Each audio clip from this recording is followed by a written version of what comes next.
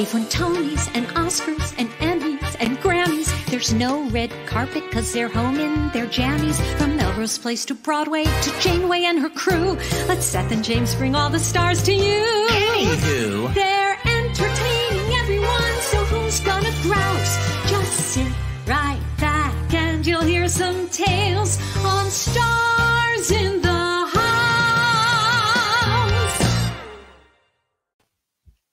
Hello, everyone. Welcome to Stars in the House. I'm James Wesley. I'm Seth Rudetsky. We both just got haircuts That's by right. Julie. That's right. Thank you, Julie. It had been in need for quite a while. Yes, Queen. Um, we are here in Italy, the land of naked boys, as they, as the lyric says. Um, hi, Sith people. Uh, this is Stars in the House, which is something that we've been hosting ever since everything shut the hell down, March 2020. It's been a long time. Kelli O'Hara was on our very first show, and she's back again. Yes, she is. Where Um, are we? we are, I'll tell you where we're at. We are um getting really close No, to a million dollars. Oh, I thought you said where are we? no, because people don't know what Okay. it is. Oh, well, for those of you who don't know, Stars in the House is uh, a, a daily live stream that we do for the Actors Fund. And in fact, our friend Maggie at the Actors Fund sent some really great examples of what they do. Oh, with the actors which- one, yeah. yeah, and um, and we'll read those in a few minutes. But um, we are they are a human rights organ, human services organization. Um, I moved your mic out of the way, Seth. Um, that is for professional artists all over the country. Um, in Well, not just artists, professional, for- professional, anybody in the arts. Thank you. Thank you. Yes. Profe- you know what? We've been doing this for so long. It's like I can't believe I'm stumbling. And we're actually fully these shows. scripted. We have a teleprompter. No, we no, we don't. If we did, it would be actually a little bit smoother. Um, anyway, um, yes, for for artists behind the scenes, um, in front of the scenes, everything else on theater, in theater, dance, um, opera, including performing arts centers like in Broken Arrow, Oklahoma. Which is where we uh, we had our show last night with uh, Kristin Chenoweth and her boot camp. Um, and uh, anyway it's for it's for people around the country if you need financial help or if you're in need of workshops that they have which they have amazing workshops and we'll talk about those in a second. If you are if you need help go to actorsfund.org if you can donate because we are getting really close to a million dollars go to starsinthehouse.com or you can text fund 2020 to 56512 Well, it's important to donate tonight. yeah, because we have another matching grant that's going to help us get to that million dollars. We want to thank the Angie Torres Charitable Fund for their match tonight. They're doing it tonight for up to twenty five hundred dollars. So let's get that twenty five hundred dollars and make it five thousand. Let's get at least five hundred because we've got to get to a million by the end of the uh, the month. That's right. We and, and we are up to nine hundred and fifty six thousand three hundred dollars raised for the Fund. You. That's right. So uh, when you donate, don't forget to forward your receipt to donations at starsinthehouse.com and we will forward them to some of the stars tonight who will read them. Matt will literally read it fully in Italian because he is fluent. Kelli will read it in coloratura. Vicky will read it in a very kind, motherly Southern fashion. Well, that's sort of true though about the Italian, right? Because when you It were is? texting uh, Kelli and yeah, Matt was responding. He was responding in Italian, but I think it was a lot of Google Translate. We'll that's what I ask was him wondering. Okay, because I was well, like, it's way too. it's really good. Yeah, Matt, I don't believe it. Okay, it was way too fluent. Any to the who. All right, so we we want to thank the Angie Torres Charitable Fund for um for the match tonight. Thank you very much, David. Um, so let's let's make that happen. Um, I do want to read. We we've got a couple of uh, client quotes um, that I think would be really um, telling of what the Actors Fund does. Um, the first one is from a client of the Phyllis Newman Women's Health Initiative. I started speaking with my Actors Fund social worker in March of 2020. I had just had cancer surgery and was in the middle of radiation therapy. Then COVID 19 took storm. I was an emotional mess and desperately needed support. I reached out to the Actors Fund, and my social worker took my call with care, hmm. concern, healing, and kindness. I'm grateful for her support over these past months, as she has been extremely helpful during a very dark time time in my life. I'm very thankful to the care for the care that the Actors Fund provides for the entertainment industry. And then another one from a grant recipient and a workshop attendee. I wanted to send a big thank you to the Actors Fund for everything you do. The emergency financial aid has been a blessing. The virtual workshops have been great. The Mm. scholarship for my teaching certi- certification is a huge help. I love that. And most importantly, my career counselor has been amazing. I've had three sessions so far, and I'm so appreciative for her guidance and support. The world has been tough, so I can't thank your organization enough. Yeah, because it's kind of easy to just think of like ge- generic people getting generic grants, but these are all uh, extremely specific, and that's the Bravo. Exactly. Uh, I want to do more quote unquote housekeeping because we're delaying the beginning of the show because there's one comic that's not going to be over till eight ten. And Dr. LaPook um, isn't going to be with us tonight. Yeah, I know. Dr. LaPook couldn't make it, so he's going to be here tomorrow. That's right. Um, but anyway, I am. Oh yeah, that's what I want to say. So tomorrow we have another reunion. Tonight is Light in the Piazza. Tomorrow is Dreamgirls, but it is the Dreamgirls concert that I did for the Actors Fund in 2001, and it's going to have the Dreams. The Dreams are four people. It's you know Michelle, who is Tamara Tunie. It is Effie, who is Lillias White. It is Laurel, Heather Headley, and it is Dina Audra McDonald. Plus we have Cece, uh, the nice brother, who's also a songwriter, Darius DeHaas, and we have Brenda Braxton, who co-choreographed, co-choreographed and co-directed. So all that's gonna be tomorrow. And the footage I have, because I basically was filming every single rehearsal from the very, very first sing through. So I have amazing footage of everything. and you that had started showing. rehearsals early on, way right? early. We began June, June 2001. And then the show was September. So I have so many rehearsals, run throughs, like tons of stuff. So that's gonna be tomorrow. That's another match. But we'd love to make our match tonight and then make another match tomorrow. That's right. Oh, and and and we also want to remind you if you have not subscribed to our YouTube channel, please do so. Um, thank you, David. Um, oh, yeah, go ahead. Yeah, please. I was just gonna say subscribe. And actually, if you can do right now, can you just copy and paste where we are right now and put it on your social media? That way, people can like actually watch along with you. So just like copy it and be like, "Oh my god, the show's so great." Okay, I feel we can call people out, and then uh, everyone will be here. Oh, Yeah, look. so we have everybody. Yeah. So here we go. So first, um, she was in our very first Stars in the House, and now she's in our very last. What? No, not the end one. Please welcome Miss Kelli O'Hara. Hi, Kels. Hi, Kelli. Hi guys. Kelli, your background is stunning. Oh, it's just a little cheapy painting, but I like it. I like the colors. Yeah, it looks great. And let me now welcome your mother, Mother Dear, as we say. Um, please welcome Victoria Clark. Hello. Hi, Mother. Hi, mother. oh, my goodness. It's so good to see you guys. Hi, Vicky. Hi, Vicky. We Hi. call each other mother. Good enough for us. Oh, yeah. And now let me welcome your lover, Mr. Matt Morrison or Matty Fresh. What work? Yes. Hi. You're a cool Hi. dude. Hi, lover. Hello. Hey, lover.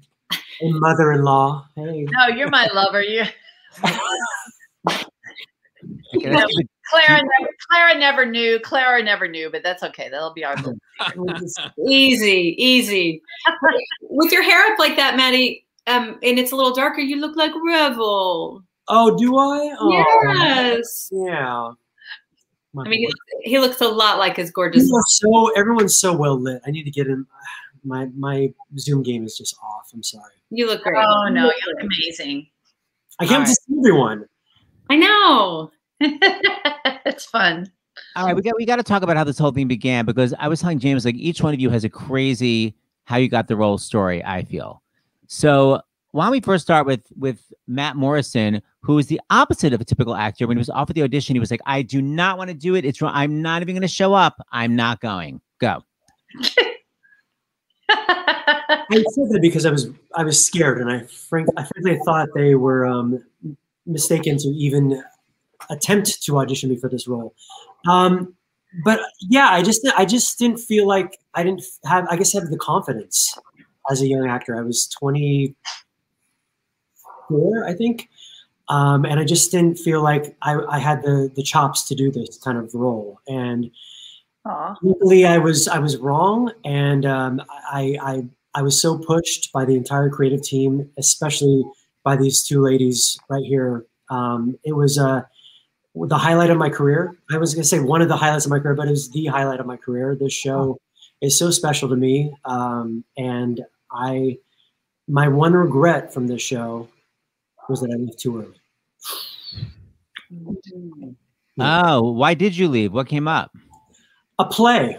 I'm happy I did the play, but it, you know, it was, it was so wonderful to do a play and not have to sing this score every night. It was just like freedom, you know. but uh, but at the end of the day, I just really, my heart was in Florence, Italy. I think it's. I think you probably, you and I probably agree. It's hard that we didn't get to put it on film with with Mother. You know, that's really hard for me that I'm not. Yes, yeah, yeah. that one stings a little bit. We both left. Matt, Matt, what was the what what ended up being the most challenging part of the role for you or the show? I mean, take your pick. uh, speak, learning learning Italian. Um, I, I, do not speak Italian.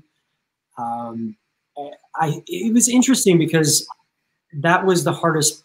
The, the, Italian was the hardest part, but then obviously the music. I, I didn't really have that the vocal stylings of the more operatic um, sounds. But for me, I think the biggest challenge was also conveying to an audience what I'm trying to say when I can't, when 97% of the audience doesn't speak Italian. So the physicality of the role was really important to me to kind of nail. But it's funny, I, that was so important, but I was really trying to impress the 3% that could speak Italian. of course. And Kelli, a lot of people don't know, but you began as Franca, the dark haired already. Like it's, I wish I'd never seen a picture of you. I'd love to see a picture of you as Franca. Oh, there's dark- one, there's one floating around uh, where I'm standing with Celia in Seattle, and I look like I'm going to eat her. Like I'm so intense, and she's so sweet in front of me, and I'm holding her from behind during the um, the the joy you feel that song. But yeah, I'll, I'll send that picture to you.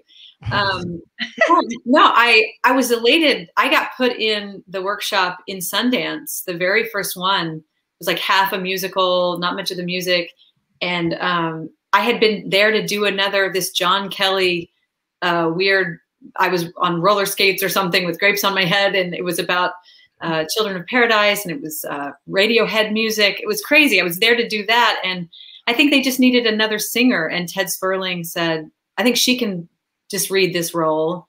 And mm-hmm. I loved it. I fell in love with this sort of, sort of sassy Sophia Loren thing, and which I think led me to Francesca Johnson at some point. Um, but, um, but, so nothing's an accident, um, and it's all meaningful. But yeah, the, then then we did it in Seattle, and we did it in Chicago, and and then by the time Broadway, it switched to Clara, and so I feel like I've got my my bones and my heart are all through that that piece. You were there so early on. So people don't know. So Celia Keenan Bolger was playing mm-hmm. uh, originally Clara, and they really her character you find out is much older than she is, and she's you know to this day looks around eleven. She's literally playing Scout and she's playing Mockingbird. So basically, they were like, "Peace out. We want someone who looks a little bit older." And then they were like, "Kelli, will you move roles?" And of course, Kelli was like, "I love Franca too much, and I love Celia. I refuse to move." And they were like, "Celia's still not doing it anyway. So whether or not you audition, it you know it's still not it's still not gonna be with Celia. So you might as well audition." But it must be very weird to kind of create one role and then be watching the role you created while you're like, isn't that bizarre? Like um, sideshow style? Yeah, I mean, no, it, it was. It was weird, but I mean, um, and we'll talk to her later, but there was no question when our new Franca walked in the door that it was hot and awesome and it was going to be totally different and fantastic. So that was gone. I think the original, yes, the original switch over, we've talked about this ad nauseum now, but Vicki and I uh, were so intent on um, the role I, have made the mistake of calling the role Celia instead of Clara. I mean, that's how much it's in my bones. We really loved Celia in this role. And yes, when it was apparent that she uh, wasn't going to be doing it, then we wanted to keep it in the family. And I was so proud to get to play Clara, believe me. But it, it um, it, it, was a, fun, a, funny place because it really never belonged to me. So I was sort of in the middle mm. because I wasn't playing Franca and I wasn't really owning Clara for a long time. Um, I really do now. I really embrace it and love it so much. But at the time, I was so angsty and I didn't a lot. So I did. I sort of, and I had asked Adam to write all these, you know, these high notes for Franca, like put an F, and if you know, um, in uh, I used to me. Do it for me, and I was doing all these fun things, which then didn't happen as Clara. So I thought, oh, I missed that, you know. But uh, it all turned out, and I'm I'm grateful for every every second. And like I said, I don't think there are any accidents. Hmm. Boy, I'm obsessed with that high F. And Vicki Clark, you're a great testament to uh, going for what you want for hmm. performers out there. Talk about how you sort of uh, really commandeered the role. Well, um, I think Ted had came back from Sundance, or right right before he went to Sundance, and Adam had a, a draft of Fable, and he said, "I gotta, I gotta play this song for you. You've got to come to Sundance." And he came over and he he played it, and something kind of went through my body, and I felt like I knew where the tune was going to go, which is weird because it's not a predictable melody, and I I felt like I'd heard it before, that I'd always known it. It was just one of those really mysterious things about this music and this part. I felt like I, had knew her and and it was visceral, you know, in a way that I don't think I've ever felt with any other part. And I recognized it. I, I was old enough to know that this, you know, was an unusual experience. And so I called up Adam right away and said, you know, we're colleagues and friends, and I had been a Floyd Collins groupie. So I said, Hey, now listen, Adam, I want a shot at this part. And he said, Forget it. You're way too young. You know, she's got to believably be the mother of a 26 year old. And I was like, dude, I'm so old. I'm old enough to play this part. And he goes, no, no. And then I just, I, and then we hung up and I was despondent and I left him a message that said, you know, this is why God invented wigs. And I really, I just, I just, you know, then they, they said, okay, come to Sundance and I wasn't available or maybe no, I can't remember. I don't think I don't think they asked me to come to Sundance. Forget that. It was Mary it was Mary Claire Heron and she was an alto. She was a mezzo. And Adam had sort of envisioned it more as a soprano role. That's what it was. And so that's that's when they came knocking on my door, uh, you know, soprano. And then I um and uh, yeah, I was put through my paces. I had to do two or three auditions and well, talk about the final audition because they'd only known you. You know, she was Smitty and had to succeed in Titanic, the gossipy, you know, second class citizens. So talk about when they were like, girl, you got to bring it. Yeah, they, I don't think anyone knew the more serious side of me. I mean, they knew the clown who eventually very much came to the party in, in Piazza. Sorry, snort, involuntary snorting. but, you know, I'm laughing because I'm looking at my co co-stars and you guys know what a complete you know numbskull i am back numbskull whatever that word is i just i'm such a cut up yeah. no ma'am no ma'am no ma'am what honey? No ma'am. No ma'am. And that's how that's mm. how kelli got her nickname because she was the grown-up in the relationship would always try to calm me down all the time. So i started calling her mother because she ended up you know like taking care of me most of the time. But i you know, most people only know the clown in me. And so now, of course, people think I'm this like dramatic actress and I'm not, I never get cast as anything funny now because no one, you know, anyway. So uh, I digress. I don't know. What am I saying? I, I you know, oh, I know, I know, I know, I know. Craig Lucas called me up on Thanksgiving morning and said, um, it's Craig Lucas. And I thought it, you know, was one of my pally pals uh, you know, I don't know, making fun or just, I said, come on, who is it? And so he finally convinced me it was Craig. And he said, you know, you've got to like, you've got to ground yourself a little bit more. Like we have to really see, you can't fool around in these auditions. We really, we need to see what you're going to do. And I was like, I was. And he's like, no, they just don't believe that you're not, you know, they, we need to see it. I was like, okay. And he goes, I'm pulling for you. Just, yeah, please. So oh, that's nice. Yeah. So it really was Craig calling me, you know, during the Macy's Thanksgiving Day parade. And, um, you know, I guess, um, I mean, I guess they saw that I had it and I, I'm very, very grateful. I mean, changed my life forever and ever. And I got to meet these two wonderful people who broke my heart every night. Mm-hmm. And it was the best thing really that ever happened to me.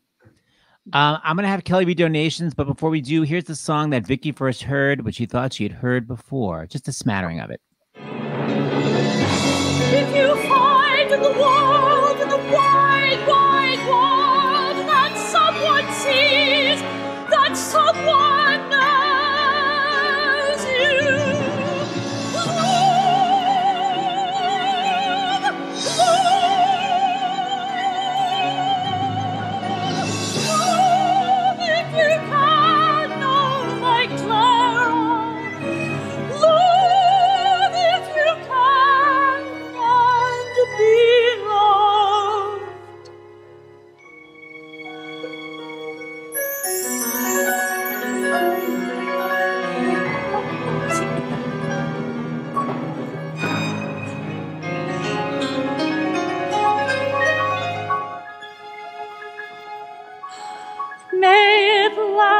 forever.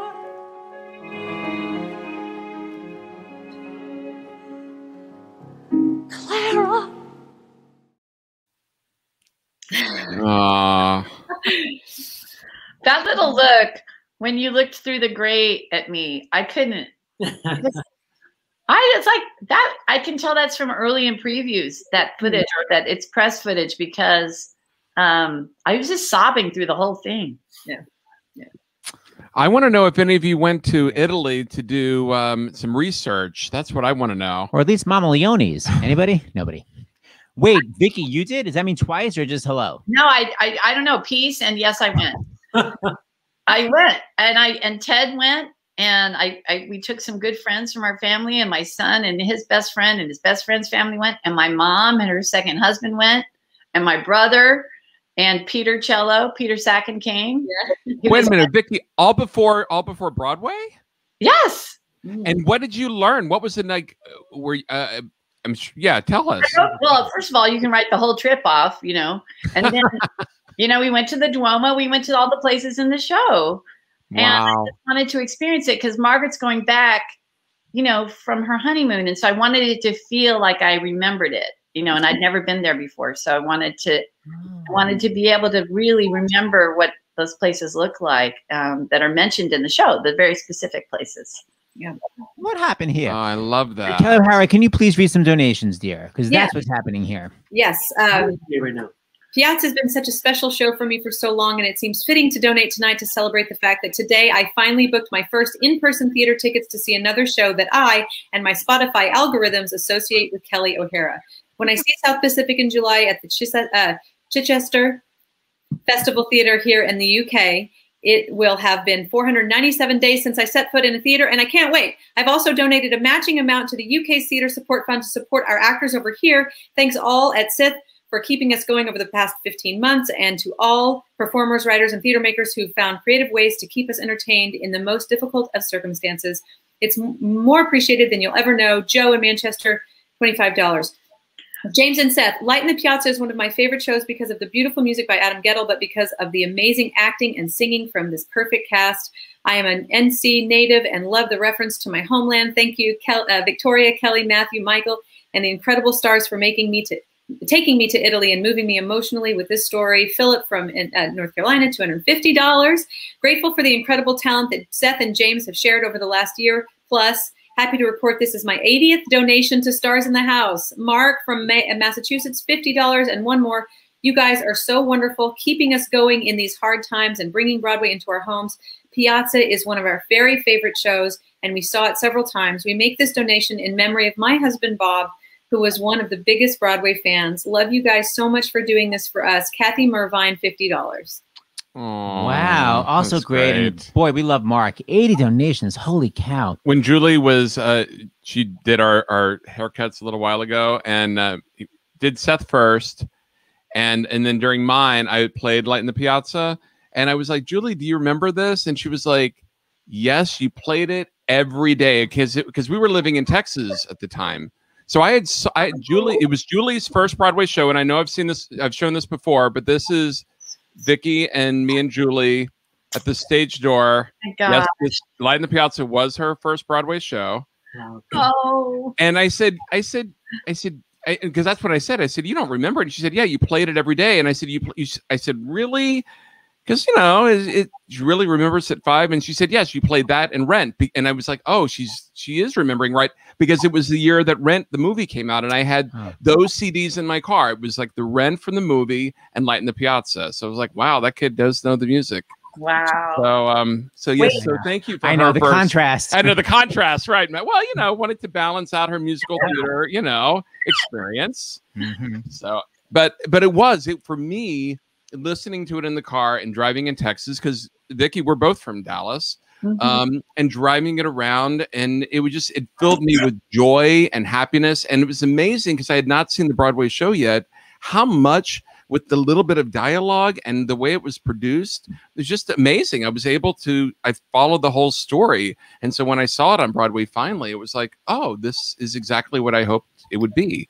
So um, anyway, but I wanted to ask, um, did you because it does cover a lot of covers love, different generations of love, and it also obviously covers a mother-daughter relationship and a daughter with special needs. Why don't you describe what the plot is a little bit before? we Yeah. ask? So, well, well, well, Vicky, you want to explain the plot because maybe not everyone watching knows. Before I ask my question, Well, we are we are sort of we are yeah. Good luck. It's we are sort of like this cultish. I mean, the people that love Adam Guettel and and and love Craig Lucas and Bartlett Sher, who was our wonderful director, and Johnny Butterell, who did our musical staging. Like we are sort of rather cultish about this show and was very important to us. And we were really we were a family, as Kelli said. So it's a story about two families.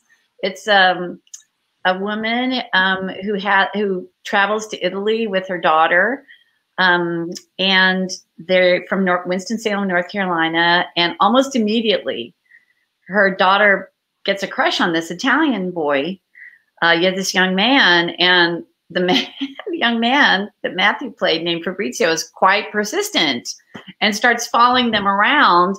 And it turns out that they just have this instant chemistry, this instant instant attraction, and before you know it, um, we start meeting members of his family, and we start getting sort of pulled into their whole culture.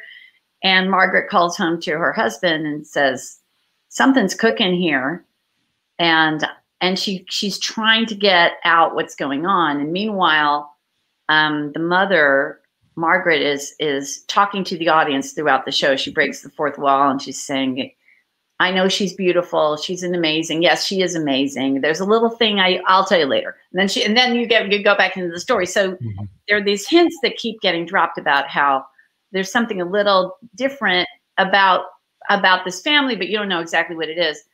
So you find out as the Italian family finds out that as they're falling in love, um, that Claire was had an accident when she was um, 12, and she has a traumatic a traumatic brain injury, um, and she's not able to really progress sort of intellectually past a certain age. And so, because of the language barrier uh, in the with the Italians and the Americans, the Italians don't really pick up on it. And so Margaret Mhm. has this decision. Um, is she going to allow her daughter to fulfill this this this once in a lifetime love, or is she going to try to explain to these these Italians that her daughter is handicapped in some way? And she just and she doesn't decide until very like almost the last minute. And and actually, Clara, um, Kelli's character, says, "I'm doing this with or without you." And so actually she breaks the pattern. And I think Clara, Kelli, could probably speak about this more eloquently, but Clara surprises everybody, but her mother most of all, because um, her mother tries to drag her away from Florence and, and leave the whole thing um, behind. And Clara says, well, I'm going back to Florence. I don't need you. I know how to get money. I know I, just, I can take care of myself. I don't need you. And so um, Margaret goes, oh, if I still want this woman in my this young woman in my life, I'm gonna have to get on her, the Clara train, the Clara Fabrizio train. And so she eventually um, allows it to go forward without telling the husband. She makes a decision not to tell the husband back in the U.S. because she knows he's gonna blow it, and that he's gonna he's gonna get on a plane and stop the whole thing. And so she calls him at the last second because she has this thing about not wanting to lie. And so at the last second, when he can't interfere, even if he got on a plane the next day, the marriage would be over. So she she like times it perfectly so that it can proceed. And so it's uh, it's a really interesting story. Did I tell it? Did I tell it right, guys? That was It so was well great. done. My God, nobody went to Yale. Marty pants. That's from my point of view. Now Fabrizio told the story; he would tell it from his point of view. So, but that's that's sort of the story I was telling. A meddling mother-in-law gets in my way. pretty much. oh no! I love the thing I loved about this show, the- James. What you were saying about the music and stuff. For me, every time I heard the first harp, that was the first thing we heard in the show was the harp, and it set up the overture, and I got so excited for the audience Yeah. because I knew we were going to take them to transport them to a, a different world. And, you know, I think we've all been a part of shows where sometimes you're like, oh, you try to lie to yourself, but maybe like two people will get it, get what we're Yeah. trying to Yeah. So, but that was one of those you just can kind of just it was it was out of your hands in the most beautiful way. You know, you just let the let the work speak for itself. Um, and the show was as close to flawless, I think, as as a show could be. You know, Light in the Piazza is one of those shows that you hear a person saying, um, I had brain surgery and I listened, we put it in my ear in the hospital and that's how I got through my recovery or something like that. You know, you get those gifts. And when, when you start to get that kind of thing in your life, you, you realize how much more important these things are than um, there's, there's purpose in them, you know? That's, that's, that's what this show is for me. It, it seems to have touched people in different sorts of ways that are bigger than, you know, a Broadway show or something. What what were some memorable moments at the stage door? Because I'm sure because of everything that this touched on, in addition to its beauty, but also the relationships, were there certain moments at the stage door of audience members that they shared with you their own experiences? Vicky? Miss Vicky, I, I just remember, I don't know if y'all remember, but they'd have to clear the house. Like people couldn't get up at the end of the show. People would be in their seats just because it ends kind of un, it has kind of a surprising ending. Yeah. You know, it ends with them just starting to walk down the aisle, and then Margaret goes, "Oh, there's a fable. There's a, I can't even go into fable, but there's a big song, and then boom, it's over." And so people were people were literally not ready for it to be over, and people were crying, and the ushers had to like pick them up and you know, kind of like get them like a and and then that's kind of what we saw at the stage door too. Is just people still um, processing. Yes, thank you. Processing. Yeah. You know, I, I did. I would get letters. Um, I got a few letters. I know that it's it, it's somewhat controversial to play, and this, especially now we can talk about this more. Um, to have different capabilities and to play a person like that and what that means. And um, but I certainly at that time got some very positive letters, which meant a lot to me because I think I tried so hard to study someone with a, a, a brain injury and what that would be. And and and maybe I overthought it a little but at the same time I wanted to give it honor and and re, you know and reality and stuff. And and I did have um more than a couple of times have a mother write and say you know um this this gave me so much you know my daughter is this and and this gave me so much hope. Or I have seen we watched Piazza together and this has taught given us both you know this this conversation that we've now had, all sorts of things, which I think yeah. that's the reason for all of this. It, you know, it, it makes we're like vessels for for feelings that that wake up certain things in other people, and that's um, that was important to me too. Wow, there's so much joy and brightness. Listen to this title song; it's just so open and and it really is light.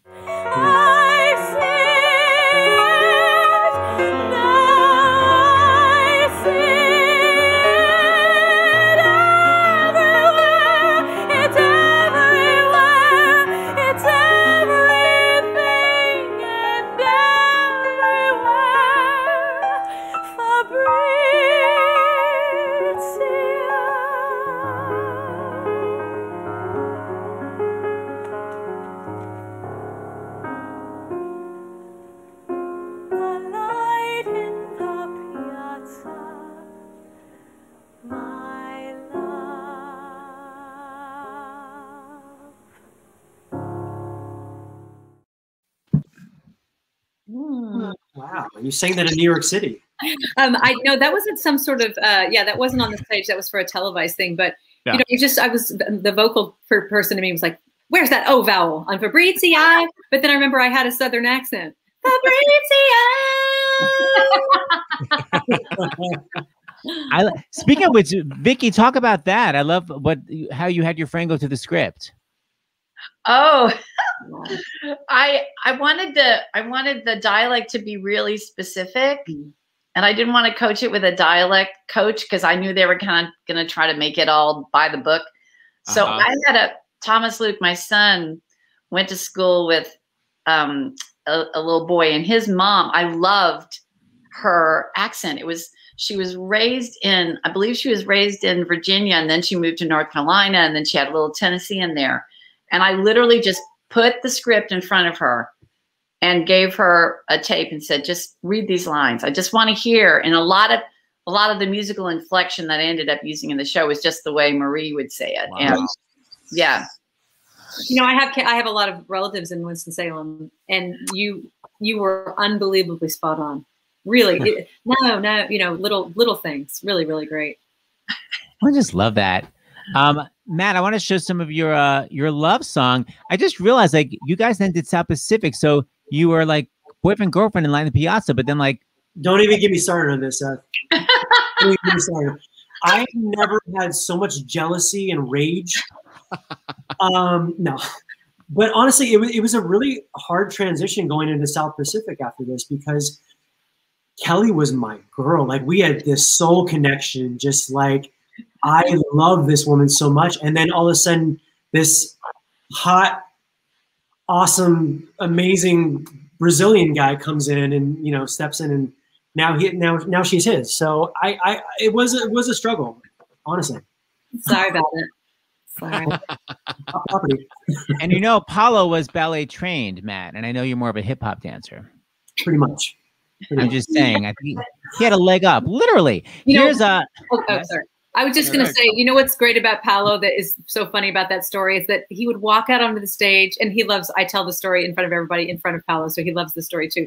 But he'd walk out and he'd be like, Nelly. And all the women would go, swoon. The whole audience would go like, ooh. And then off stage, he'd be, I'd be across before the bows, and off stage, he'd be going, Nelita Corazon, Nelita Corazon. And he'd be, doing ballet and kicking and like, you know, tour jetés. And I'd be like, the ladies, if they saw you, they would be so confused. he is adorable. He's Um, all right, I want to bring up the temperature of this show. Let's make it PG 13.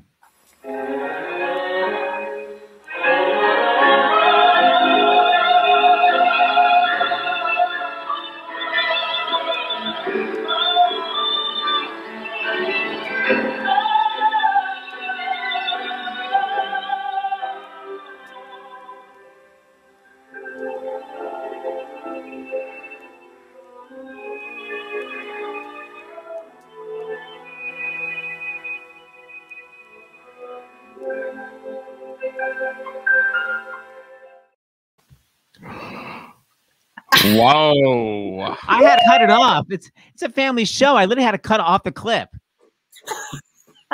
Yeah, you don't you you want to know what happened after that. But let's Oh, talk diet. That's what happened. That's What- right. oh, mom walked in. I had a great view of the whole thing. best ending to an act. It was s- Oh, it was so stunning. deela deela deela deela deela. That's what it sounded like.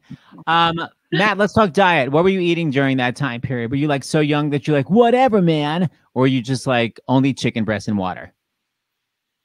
No, the chicken breast and water.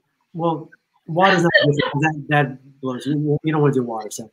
Um, but it was honestly uh, that was more South Pacific because I had to do an entire number with my Right. shirt Um, but this was this was I think just young age and I don't know. I was more about my voice in that that show than anything. My stage door experience was going out and just doing a couple. I, I would speak Italian to to the people to the people. Yeah. um, but yeah, I but I was basically I lived like a nun that whole show. I I, I lost a lot of friends because I didn't really speak to people because I was just on vocal rest my entire my entire time in that show.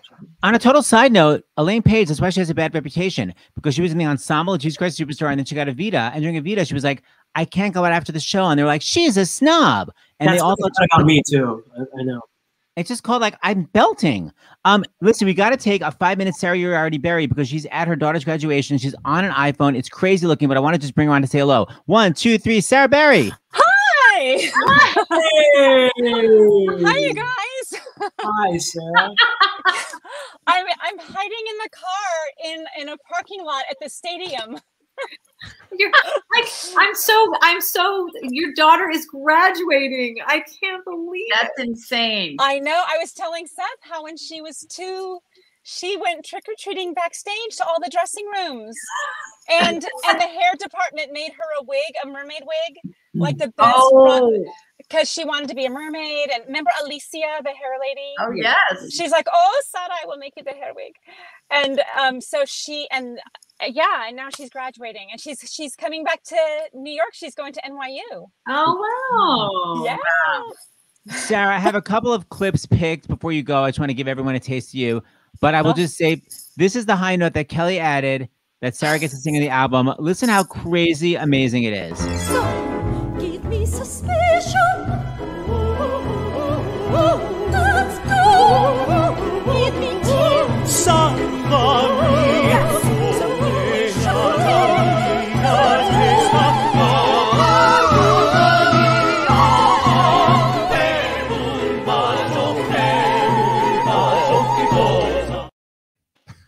Unbelievable.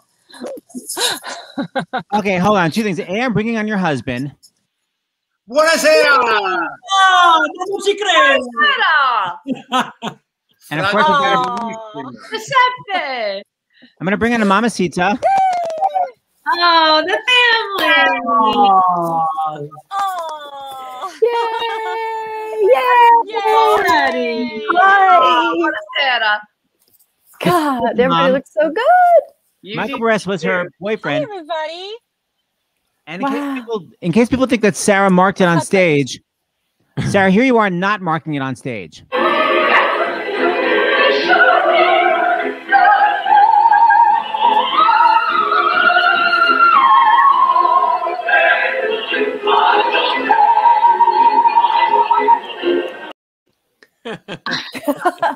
Wow. And Patti's Patti's flawless high C every I, night. I I couldn't hear it.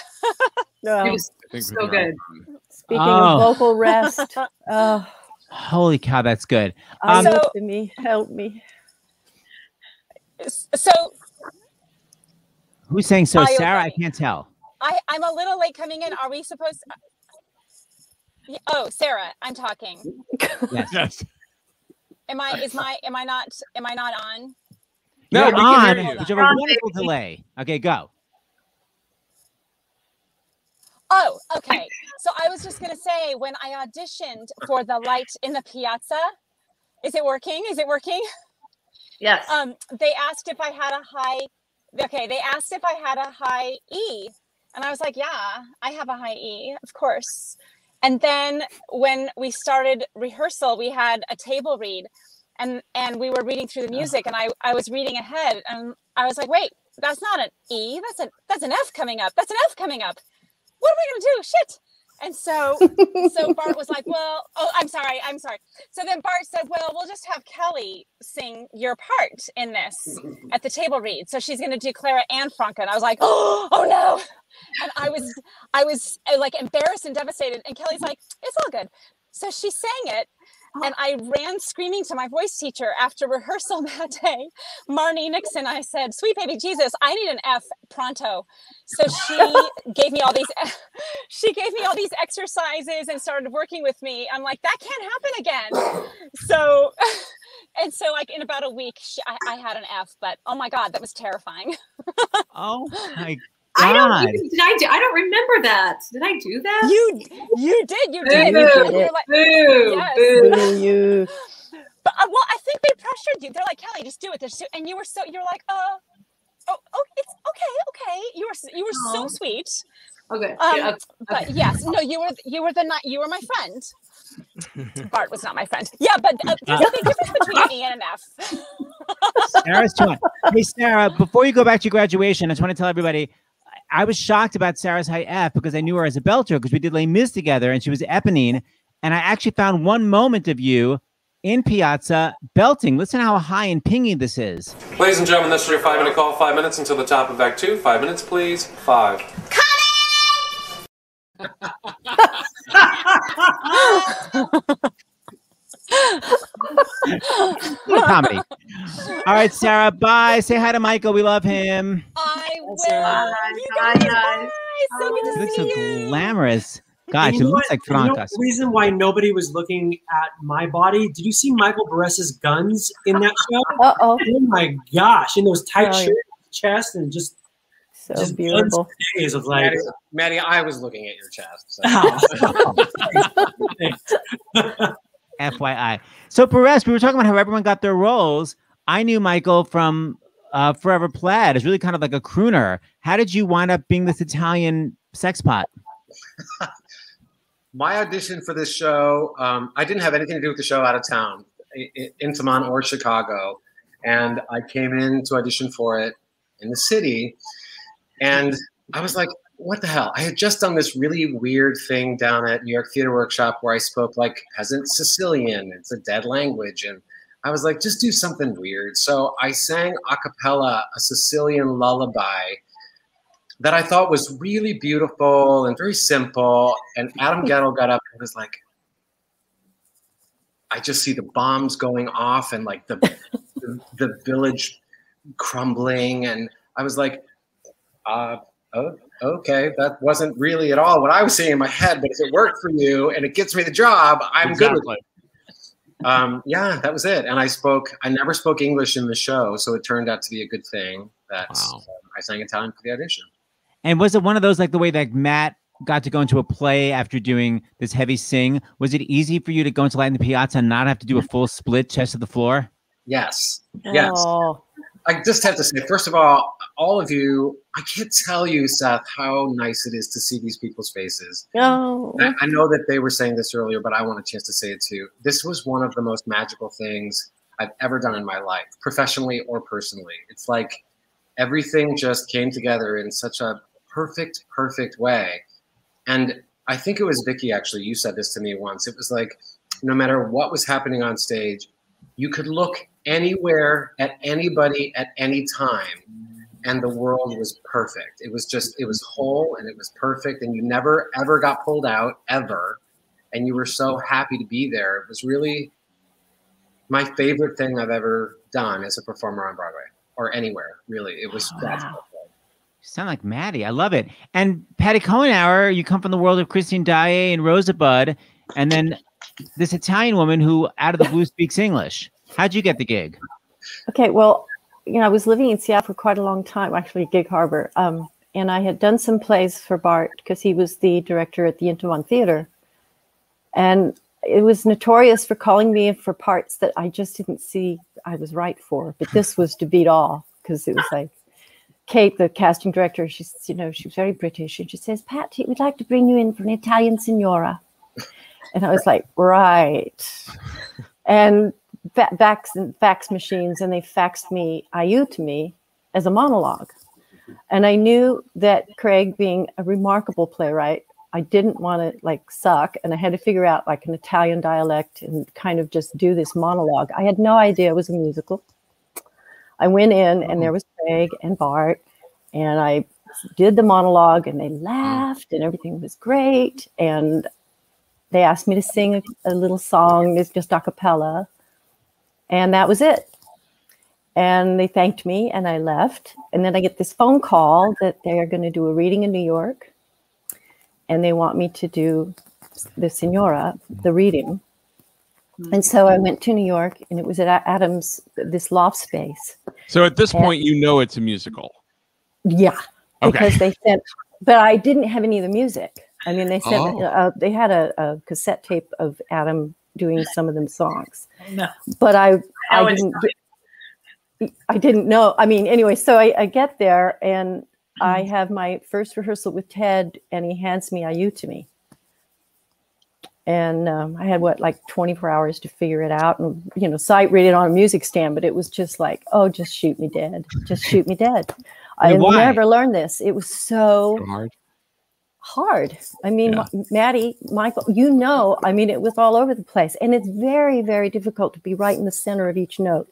And Adams scores demand that you be in the center of his pieces. They, they, musically, it's just, and it, because it makes it even more brilliant than it already is. So I had to get it right. but my favorite moment was I got to that part where, you know, I, um, me means help me in Italian. Um, I don't speak English, but I have to tell you what's going on. And at the reading, when I did that, the, the whole room just fell apart. So I went, cool. I'm going to get a laugh. and I'm going to get, it's like it was worth Aiutami because it was such a remarkably difficult piece to do. Um, and by the way, you nailed it. Aiutami means help me in Italian. I don't speak English, but I have to tell you what's going on.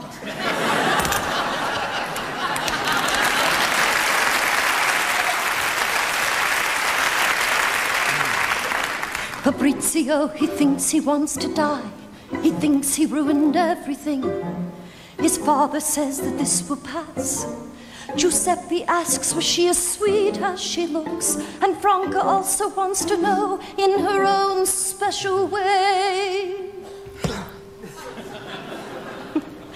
Here is what I know, what I do. I let them boil and simmer and stew, and I don't reveal myself. If there are suspicions, I encourage them. If there are rages, I say, louder, please, louder.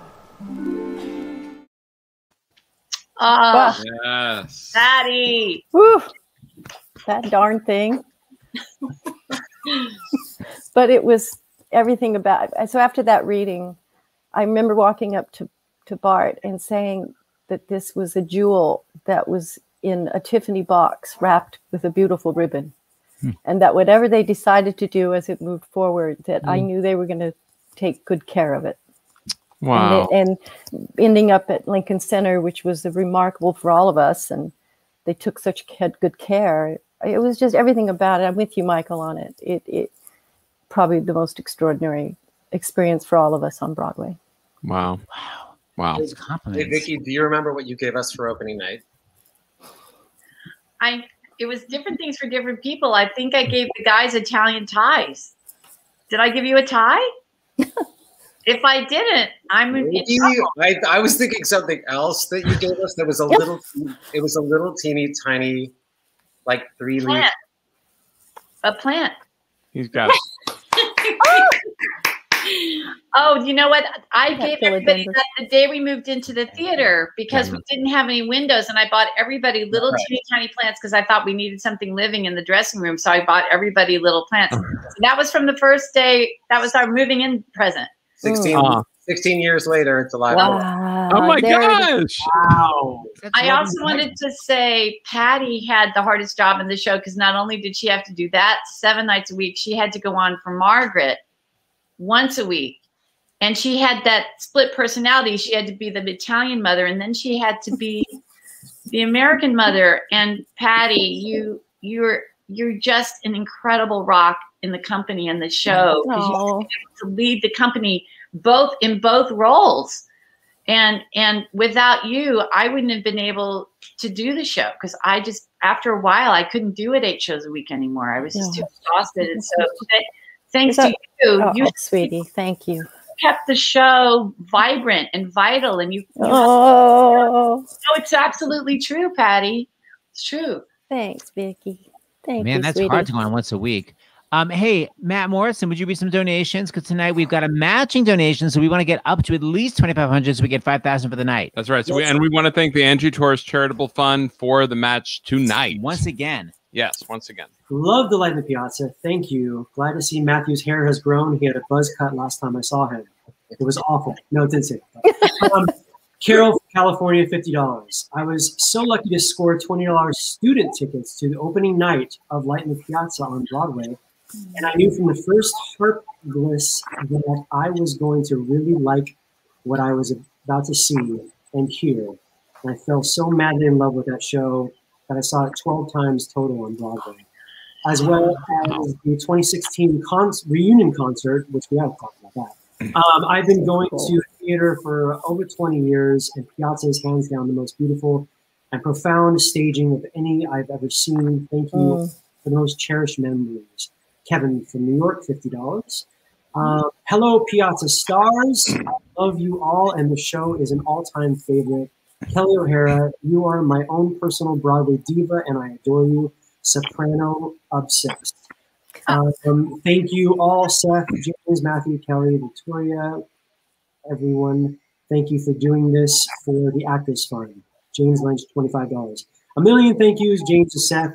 Grazie mille for uh, your tireless work for the Actors Fund. And thank you for this incredible cast for bringing the show to life. Best to you all. JP Stevenson, $250. Wow. Wow. And listen to this. I just got a text from Maggie at the Actors Fund. Um, we don't normally get uh, these sort of updates, but this is a special night, and we want to thank the Angie Torres. So we are up to one thousand nine hundred and twenty-five dollars raised, which is double that. So that means we're up, up to almost four thousand dollars raised tonight for the Actors Fund. Yes, in the piazza. And listen, if you keep donating, we're gonna have some live singing later. So I would really bring up the bucks because I'm gonna have some of these clowns haul out a song. Um, Matt Morrison, let me ask you: Did you enjoy rehearsing Light in the Piazza? I was young and I needed the money. Um, no, I, I did. I mean, rehearsal in general is always my favorite place. I love the rehearsal room. I love developing, especially new works. Um, and right before the Light Piazza was Hairspray, which was kind of the show that put me on the map. And so this was the show that kind of stamped my my place, I think, on Broadway as as a leading man. Mm. And and for me, it was just so special. But I think the obviously my relationship with Kelli and the show was was so profound. But right right next to that is the Naccarelli family. I mean, that was I I still I don't speak to these people as much as I should. I always think of them, um, but I um I they were my family and they are my family forever. But I I absolutely loved the rehearsal process and it was it was amazing seeing Bart put this thing together. Uh, he uh, he's he's the top, you know, one of the top directors out there, and I think uh, this was his his kind of entrance into the whole Broadway scene. So it was uh, it was amazing to see um, quite a quite a debut from him. Such a profound answer. I was really just asking it to set you up. Guettel even made him a roadmap for his opening song. Adam is a genius. I, I feel like this is his character that I think that's why he's put so much attention on me and we rehearse all the time.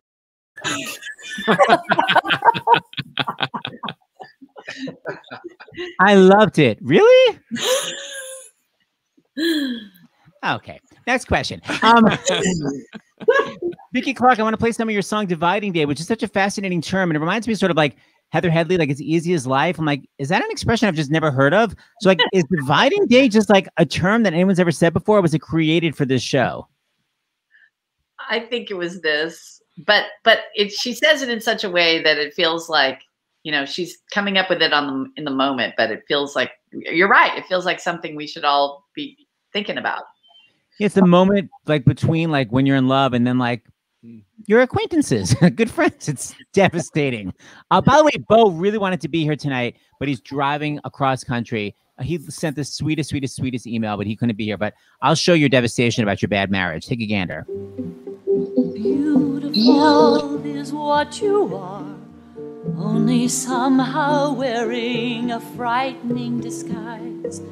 I can see the winter in your eyes now, telling me, Thank you, we're done here, not much to say. We are together, but I have had dividing day. So when, when was this day? Was it on the church step? Suddenly you're out of love. Does it go creeping slowly? When was your dividing day? Hmm. Hmm. Aw. Michael, no, so beautiful. too much. It's too much. I think Dividing Day was the first piece from this entire show that I ever heard, and it was it was uh, a, a, a, a uh, Adam on a guitar, and he would go. And then he'd go, "Ziba, diwa, ziba, ziba, da, dee." remember that one? And I, oh, I was just madly in love. And and then when you put the heart in it, like sort of that that her face just then when she's like, it's just that realization, like flat, and it just Kelli, I mean, Patti, I don't know if it, that song is still in your bones, but it's still in my bones Mhm. because the, the cigarette you had there was a certain number of of beats to, to smoke the cigarette put it out walk around the table and i remember jonathan schwartz asked me to sing it on his radio show and with remember that kelli you were with me and i without the without the telephone and the cigarette i couldn't remember the and I, as usual when kelli is there i just kind of looked at her and i went and when she started singing the song i was like right i know and I sang like I sang like four or five phrases, and then I went up again, and I was like, Kelli, Kelli like gave me. It's like, yeah, like, it's my mother in the show. Like I would just, and you know, and this this is a terrible, terrible story. I have to tell this really fast. When when Katie Clark replaced you, I know. Have I told you this all? Okay. Well, you well, some of you were there.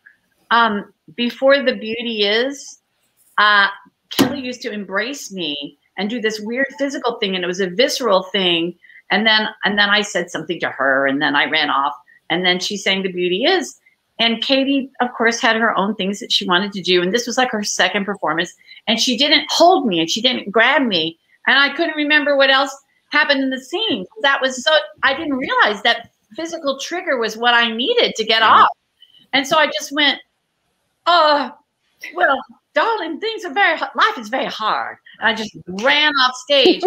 you could hear everybody in the pit. It was about a half a page too early. and Kim Grigsby was like, man. And Katie, God bless her, Katie Clark was like, she knows the show, but she just left me. She's like, okay, and now I'm singing a song. No, my my favorite thing with Dividing Day was because I, I it must have been the first second time I, I was on for you, Miss Thing, and um, the lighter, the lighter was set. To, you have to light that cigarette just in time. You have this amount of time to get all the cigarette smoked and make the move to sing the next verse. So I go and I get you know the cigarette. I get it out of the case, I it, and I put the lighter, and the flame just went.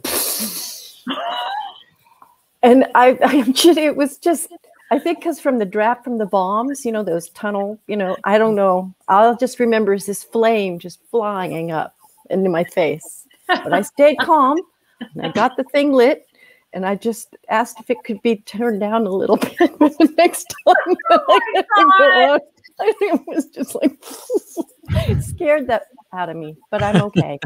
Oh God. I survived. Story, your story of uh, dropping your lines made me think of we didn't, as the Italians, like we were kind of screwed if we went up on a line because oh. you could just make up something Oh. and make it sound Italian, but you're like, I don't know where to go with this. Try, try, try going up in the middle of a rest at Downstage Center at the Metropolitan Opera. Oh. Did that happen to you?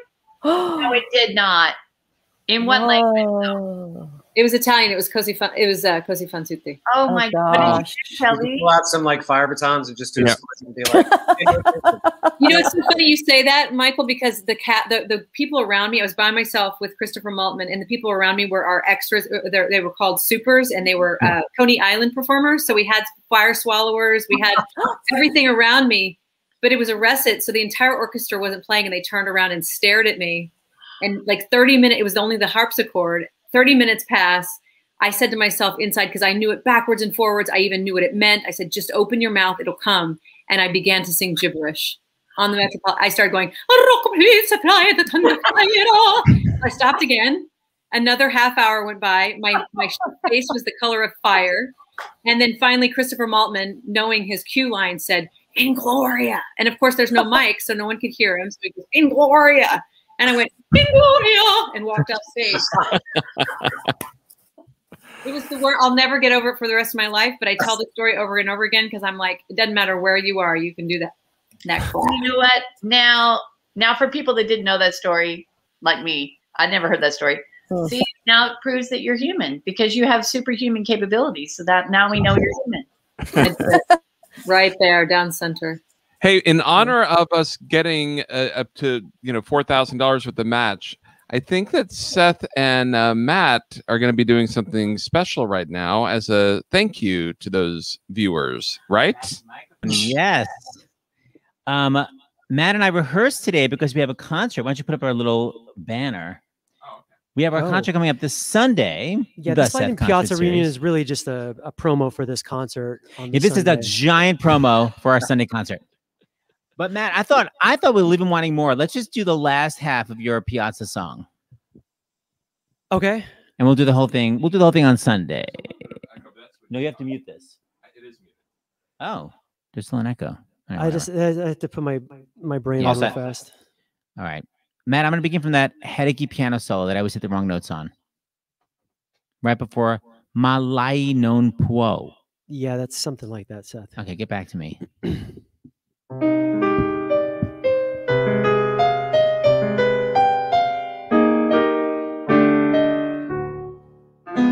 non può amarmi non così, oh Clara, non amerà un ragazzino, non può amare un ragazzino, Dio, papà, Clara, Clara, Clara, mia luce, mio cor, l'essenza che mi mancava, sei tu. Sei tu, Clara, Clara, Clara, mia luce, mio cor, solo nel buio non ero vivo. Oh Dio, me, mia Clara,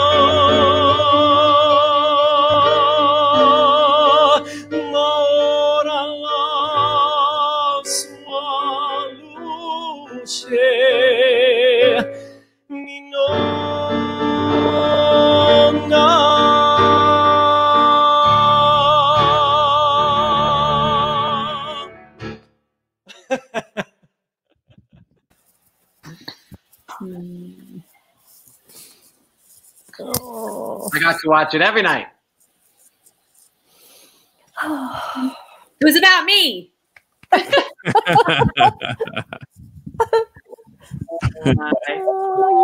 Oh man.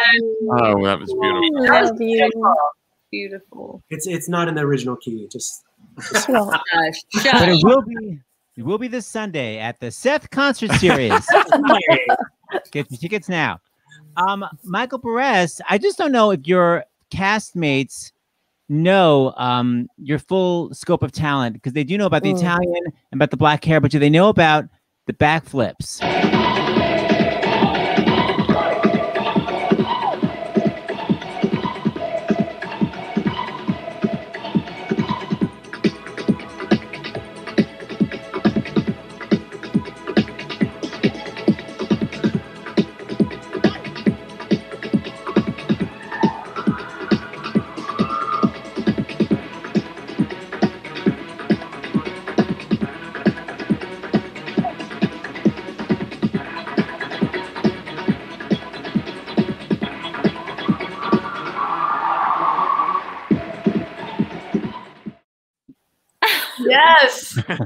Yes.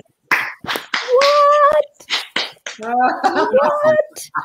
The first time I saw Michael Berresse, he was flipping in Kiss Me Kate. He was flipping down in a three-story mm. tower backwards. Unbelievable. I'll never forget it. That was Oh. Star Search. And Matt, I don't know what you're laughing about because your shirt was open during your song. If you say you wanna kick it with the fresh step crew, you gotta be fresh to fresh to fresh. Oh my. How Look at that I never Botmont. seen that? Hold on, that Botmont is fierce. Check it out. Look how high. If you say you wanna kick it with the fresh step crew, you gotta be fresh to fresh to fresh. When we step into the year two. Yeah, take that Powell shot. Come on. Oh, that's crazy. Fresh gotta cut. Crew. That's, So that's great. how I got my Broadway debut, by the way. What'd you say? That's how I got my first Broadway show. What's you doing that David Letterman number? Yeah.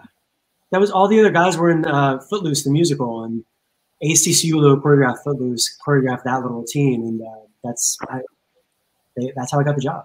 Is it Nice. you singing? Wow. Is it you Okay. singing or are you lip syncing? No, it's it's like one guy just double, triple. It's one guy on the track. It's not any of us. Oh, so this is you lip syncing. With the fresh step. Girl,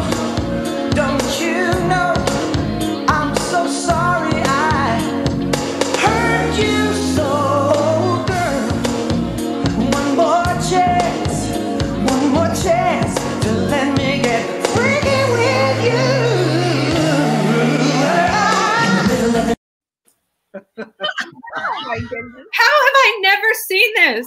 How? I love, I love we pan back to everyone's face is like. Matt, Matt, you have had an obligation to show me that over the last 20 years. Where has that been? So let me just. So you all know my nickname is Matty Fresh. That's how I got the nickname. That group was called Fresh Step, like the kitty litter. Oh. And and so that was that's how I got Matty Fresh. I knew that. But I'm mad that I don't have never seen that. That's Oh. too much. Thanks for Thank sharing. you, Hey, I want to give a little update here because um, Matt singing did indeed bring in more money. So now we're at two thousand one hundred and seventy-five dollars. So someone do the math to doubling that. Yes. And so I'm thinking, Seth, that maybe we can get twenty-five. 43.50. What's that? Forty-three fifty.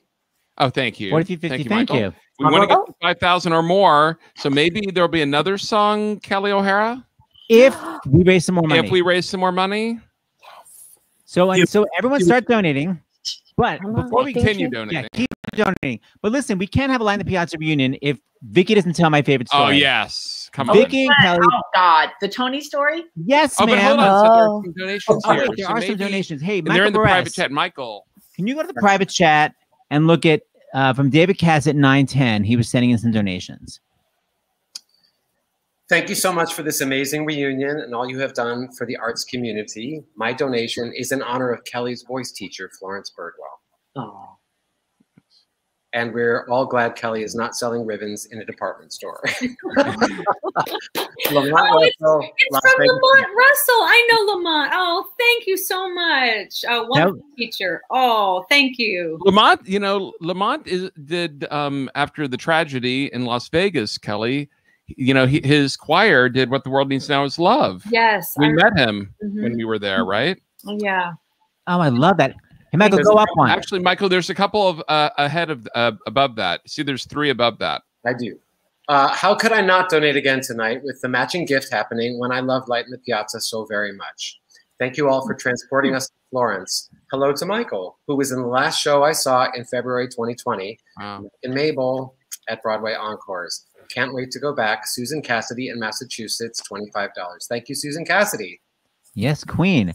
Patti Cohenour, how's your vision? Can you read two of them? No, my vision sucks. Vicky, remember- you want to read the next two Who what? in the private chat? Yes. What happened here? Thank you. What happened? Well, what did happen? What happened? Mother, thank you, Piazza Cast. I have been obsessed with Piazza since the first time I heard Kelli sing the title song.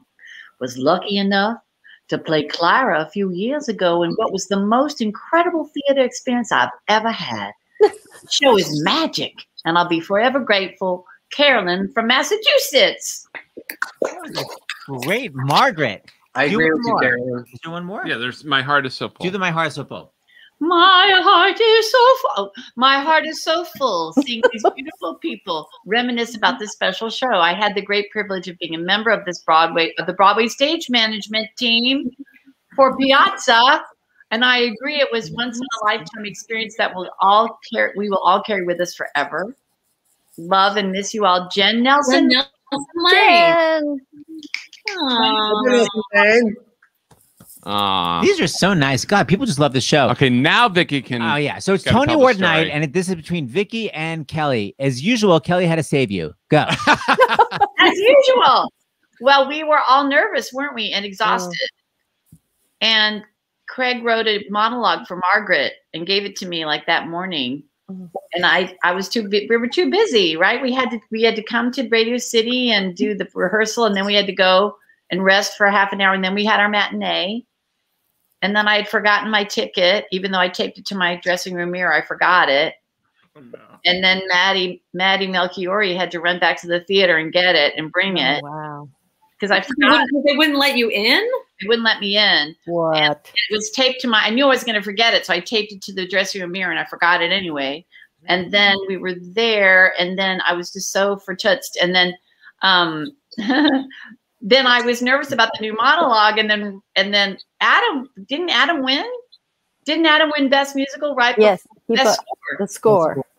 and the and the curtain was flying up and applause applause and this guy comes around the corner and i was i had the the new monologue taped inside our fake little piazza set inside one of our fake towers and I was like, you know, going over the monologue, going over the monologue, and this guy I'd never seen before, huge guy, stagehand, hands me a mic that was this big, and throws it in my hand and says, "Your mic is out. Just use this."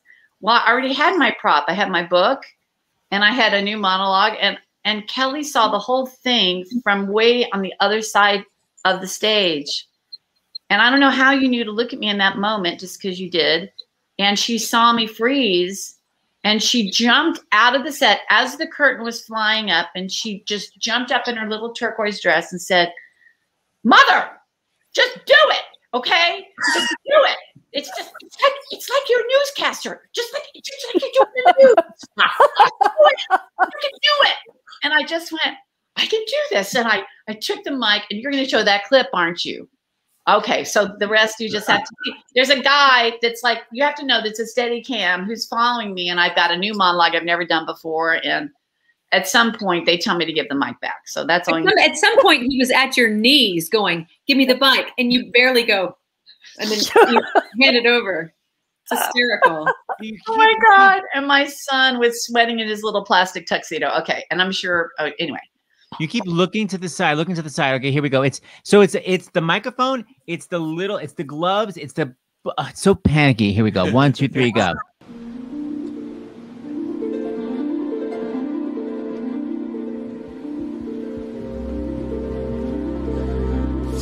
Florence, Italy. It's my favorite place on earth. The openness, the light. My husband and I took our honeymoon here before the Second World War, and this is my first time back.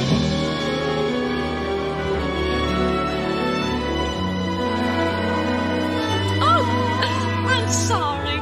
I'm Margaret Johnson. And this is my daughter, Clara.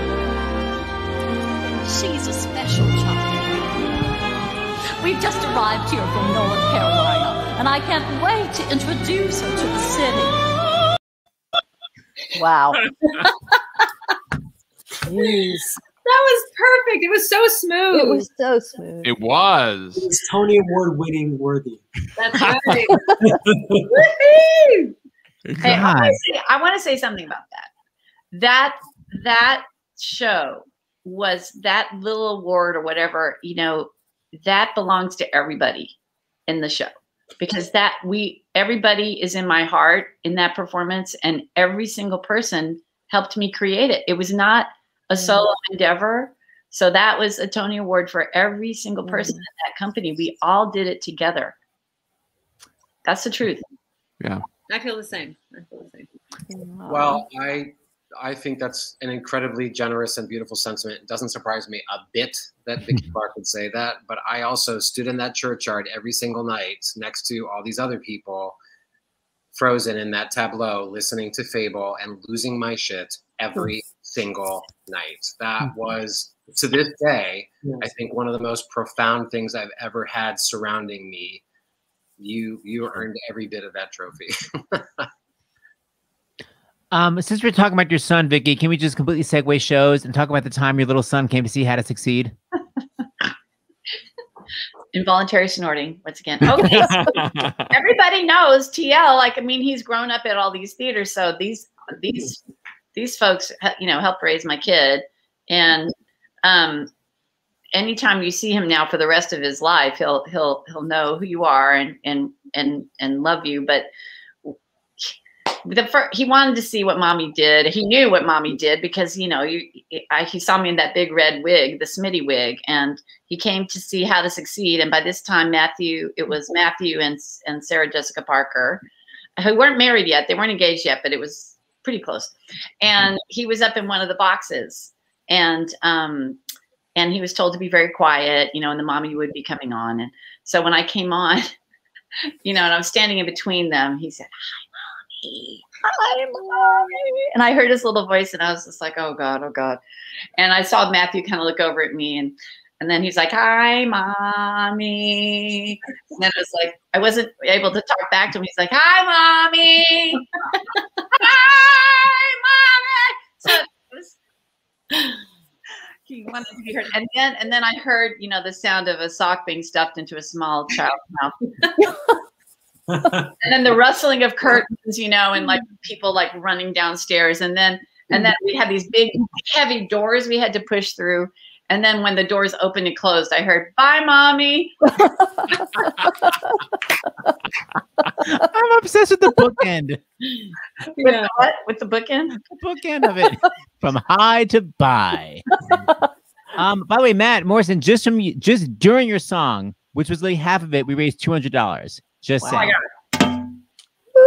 All right, now we're up to. I love. There's so much more than that. We've never had more updates than this, but we're up to two thousand three hundred and twenty-five dollars. This is a lot for an hour. Let me ask you: Does anybody know anyone that had any experience with the Actors Fund? Vicky's already sweating. Anyone know anyone that had any experience with the Actors Fund? Yes, Kelli O'Hara. Well, I think you know, famously, uh, Actors Fund helped uh, helped us raise a lot of money for my beautiful friend Katie O'Hara, who you guys were so lovely to as well. And in in her last months, you know, she had a a counselor there who helped her go through some of the medical bills. There was definitely a lot of payments being made on the, those. You know, they were just astronomical, and um, I think there was a good support system there for Katie. So that was very that's very meaningful to me. Yeah, they really stepped up for Katie. That yes. Um, I was I was told the story. I knew someone a, uh, someone from a piano bar that had AIDS and couldn't afford his piano. And the Actors Fund literally bought him a new piano. It's like they they're really hands on with whether whatever kind of needs you you need. Um, so we say brava to the money we're raising tonight. Why don't we maybe see how much we can raise? Kelli, why don't you haul out? I recorded the piano part for Kelli's song. It almost killed me. Who was the pianist on Broadway? Because that piano playing is so good. Who is that? Did anybody know? Well, that uh, different ones. that would have been. Uh, Um, Oh my God. It wasn't Ted. Ted was conducting. Oh, Ted was was it, conducting. was it Scott? No, Scott. Oh my Gleason? God. I'm embarrassed right now. Oh, oh, Fred, Fred Lassen, Fred Lassen. No, uh, No, it wasn't Fred. It's been it's been 16 years. Yeah, we No, have that was look it up. Uh, he was well, Dan, Lip- wonderful. Dan Lipton, who still plays with me, played a lot during, but I don't know if he who did on the Broadway album. I'm gonna look on I just IMDb. remember Christian was our first chair violinist. First. We'll get. Kelly ready here. Yeah, and listen, this is this is you know Matt was all hooked up with Seth to play like like uh, this Seth series, but I'm just using my own. So and it's such a loud song that that it's just gonna blow out anyway. But but I'm gonna sing it anyway for fun, guys. Sing Yeah. it. We're gonna love it. Who, but who's the pianist? Uh, should I Oh, sing? hold on. Yeah. I will Okay. Hold on. I'll sing first. Should I sing first? Yeah, why don't you? Well, I don't want to be. Yeah, just don't judge my piano playing. It's really hard. Okay. Oh, I'm nervous. Hey, yeah. okay, here we go. Mother, I've just grabbed you at the Uffizi. Oh, and go. it was Adam Ben David, who's amazing. Oh, of course, Adam Ben David, who played for me forever. Yes, yes, yes, yes. Oh, Adam, wonderful. So good, and he's a great composer too. I didn't know he played that. God, yes, so he good. is, and he can play anything. He can play jazz. He can play this. He can play Great jazz player. Yeah, because he, his mother was an opera. He's an opera singer, and he always played for. Anyway, okay, you ready? I'm nervous. Go. yeah. Tune me out.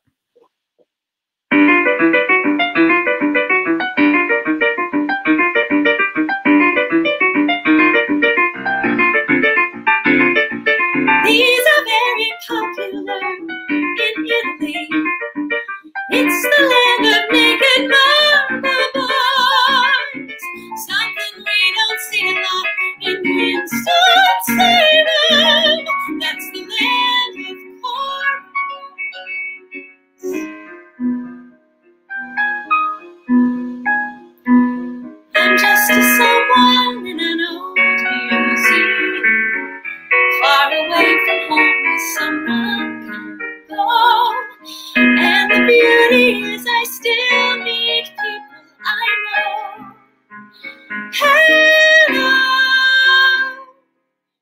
this is wanting something.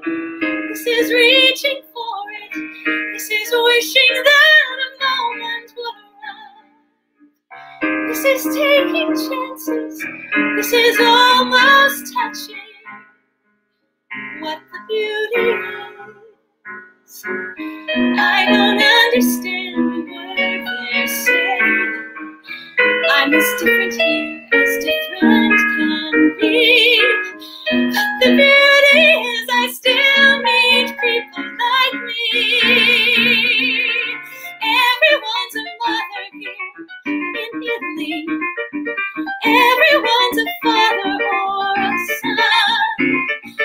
I think if I had a child, I would take such care of her. Then I wouldn't feel I've hardly met a single soul, yeah.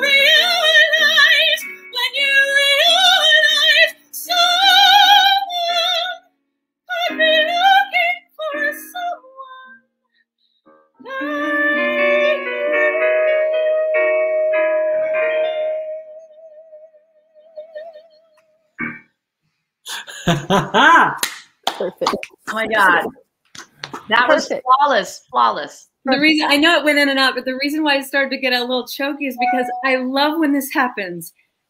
Your body, unbeknownst to your mind or your intention, moves because it used to move. It used to cross fingers. But I never, I haven't done that in.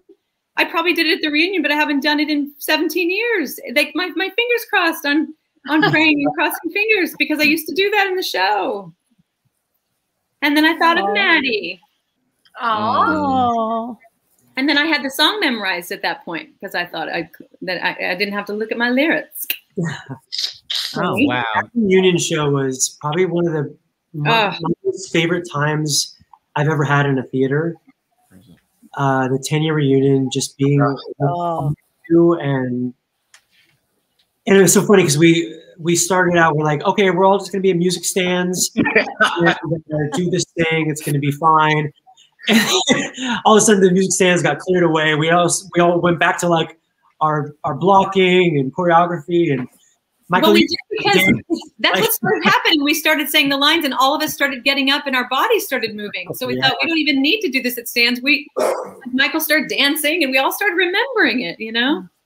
Hey Kelli, I want to I want to share something with you because all these years I've known you, I didn't really realize this connection with you until you sang it and I saw you sing it live.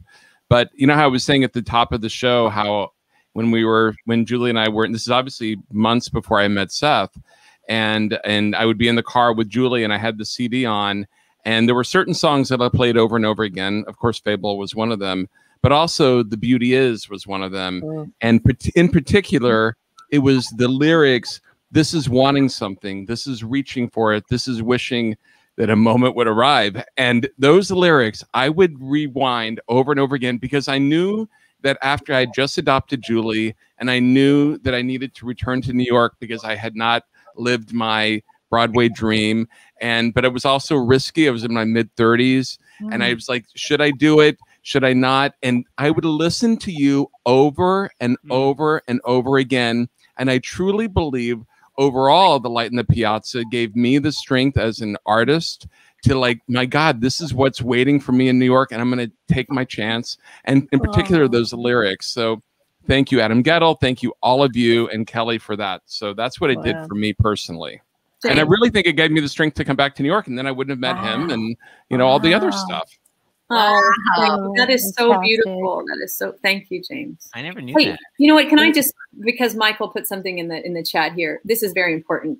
Yeah, Adam Ben David was one of our pianists later, but our first pianist when Ted was conducting was Dan Riddle, who then actually That's took over as our conductor. And the reason why I have to talk about Dan is because he's he was just he that I mean I can't believe my mind went blank because Dan was so integral to my process and to this show because it was so hard to to take off the page what Piazza was into what we did on on the stage. It was very different to conduct it because it was all out of time and and um, Dan was Dan was the person who sort of built that with us as singers.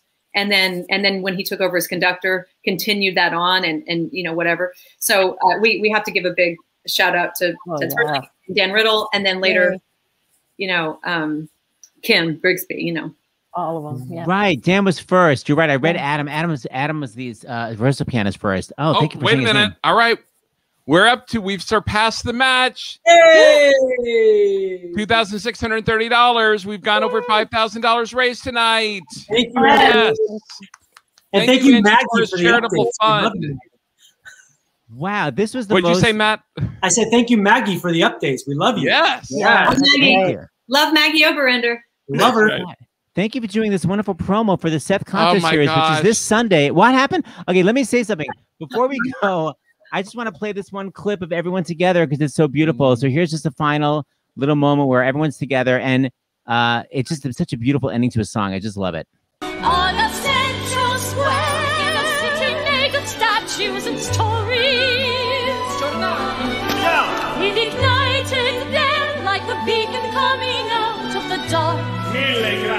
You can it, you can feel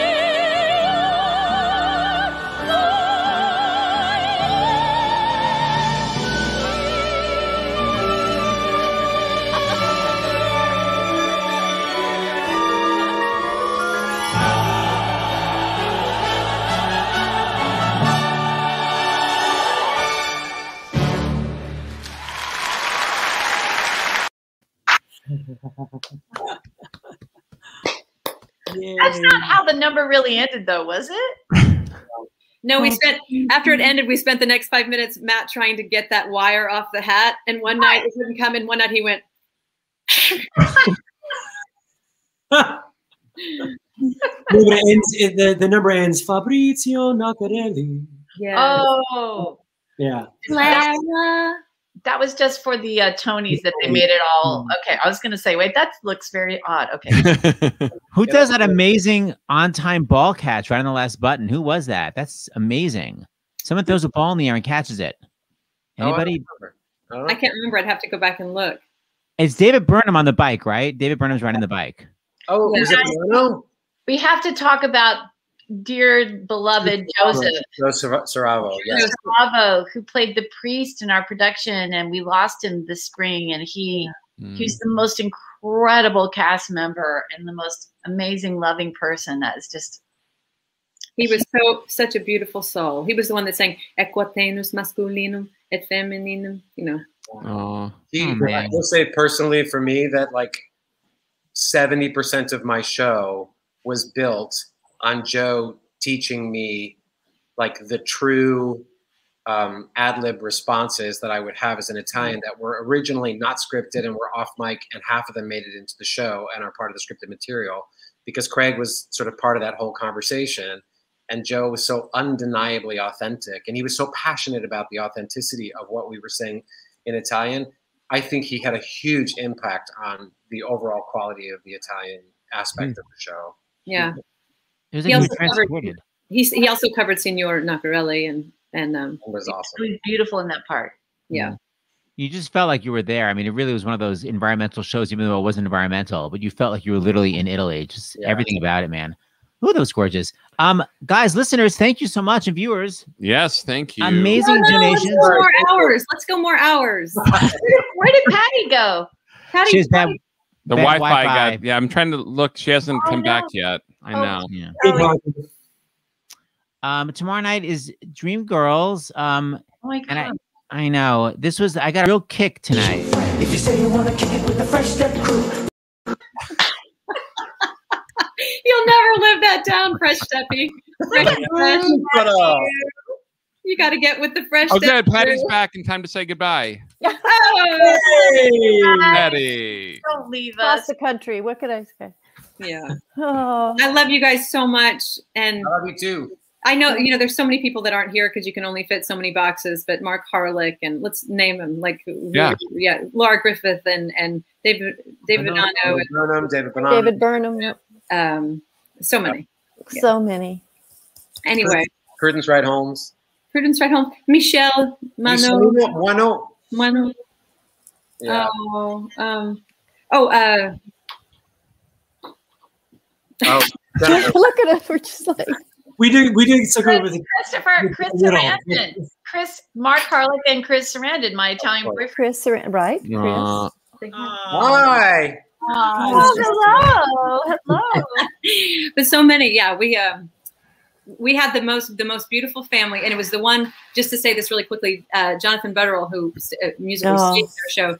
We, it was one of those casts where you started. I was thinking of the Friends reunion the other night because Joey said the only time they didn't gather in the back hall was the night Right. that he hurt his shoulder. Right. Mm. It made me think of Piazza is really the only show that we um, we would do those uh, circles, but we'd also do those before warm up, like warm ups where we like massaged each other. Oh yeah. Not appropriate now, but but we were we were just so uh, you know close heart, you know, emotionally. Um, we were made to be that way. We were it was that kind of thing, and I thought every show would be that way. And I've had wonderful Mm. groups, but I'm just saying it seemed to be more connected in the heart. Oh heart. yeah. yeah. wow. And this, Once in a lifetime. Yeah. Yeah. thank you, Seth. Thank you, James. Thank you. Yeah. Thank Love you. guys. I love you guys. It was Love good you, to see love you. everyone. Mm. Maddie I love your face, mother. Thank you, everyone. We'll see you tomorrow night. And thank you, Angie Torres. Okay, but we love you. We want Love you guys. You're Thanks gonna for have to, donating. okay, they're- they turned us off. Oh. They finally turned us off. They kicked us out.